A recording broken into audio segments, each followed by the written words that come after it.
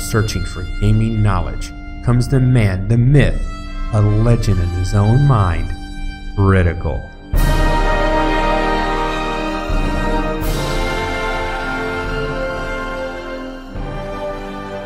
Welcome back, guys and gals. Critical here. Today I'm bringing another episode in my Weapons of Subsistence series. Today we want to talk about ammo. Now, ammo is typically specific to a particular weapon.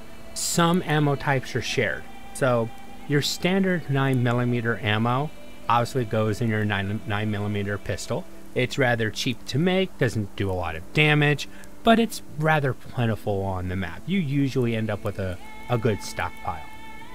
Your 20 gauge shotgun ammo. This is once again bread and butter. Um, this is something that it costs more, at a distance isn't worth it, but up close and personal, shreds. Shreds everything. It's really nice. Upgraded shotgun with this is really good.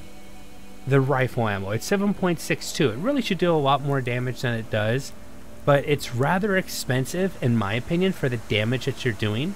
But once again, long range with something that has a head hit box and you can hit them in the head this should kill them one shot on an upgraded rifle. It's it's still nice. Your 44 ammo. This is a stopping ammo. This can this can do a lot of damage.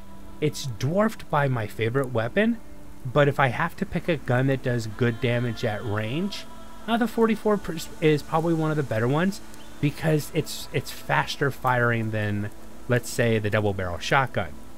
Now, your shotgun slugs it can only be used in the double barrel shotgun.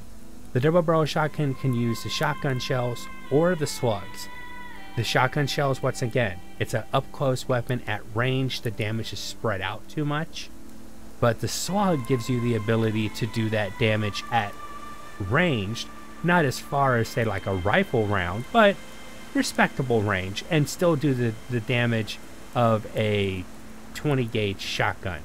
Not if you get him in the head directly, but it, like I said, this is situational. It is spreading. This is a, a metal slug to the face. I still think that that double barrel shotgun should do more damage.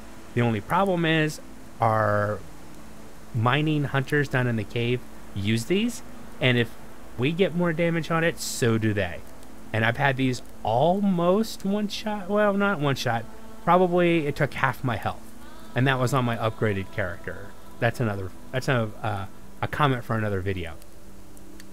My standard arrows. I use this basically with the regular bow. Once I get the recurve bow, I'll still use these to pull to to you know if I want a chicken or a rabbit easily. I don't want to try to chase them or something like that. Uh, you know, messing around at a long range shot to the head with the recurve bow, this can still kill premium arrows. Oh my god, with the recurve bow and level 4, these arrows are mwah, awesome. And then the grenade tipped arrow. These can be really fun. Uh, they can do a lot of damage to both structures and people. They are affected by the weapon damage, so a fully upgraded recurve bow gives 80% more damage to what a grenade tip arrow can do. Once again, making this probably the most devastating weapon of mass uh, mass effect in this game. Um, a weapon of mass uh, destruction. MWD for subsistence. Grenade tipped arrow. Oh yeah, too much fun, and I love the sound and firing these things off. And that's basically the the ammo. I mean, there's not a lot to go into it. Um, we can look at crafting the ammo. Um, your regular arrows take nails, sticks, and feathers. The 9 mil, like I said, one ammo casing, four gunpowder. Shotgun shell is 6 and 15, gets expensive. 6, 16, and 2 for iron fragments. Your rifle rounds, uh, once again, it's not too bad, but it's 4 ammo casings and 10 gunpowder, and the 44, 5 and 12. And then if you're going to do premium arrows and grenade tipped arrows, you have to come to the workbench for that. Premium arrows don't cost any mass or power, but take scrap metal, one iron fragment, one crystal, ouch, one premium feather. Premium feathers You have to catch a chicken, raise it to either level 3 or up to level 10, and you can get premium feathers when you harvest them. Grenade tipped arrows takes a premium arrow, a grenade, and two pieces of cordage. And you, know, you have a grenade on the tip of an arrow. Oh, Rambo would be so proud. Alright, guys and gals, that's my time for today. This was a look at the ammo and subsistence.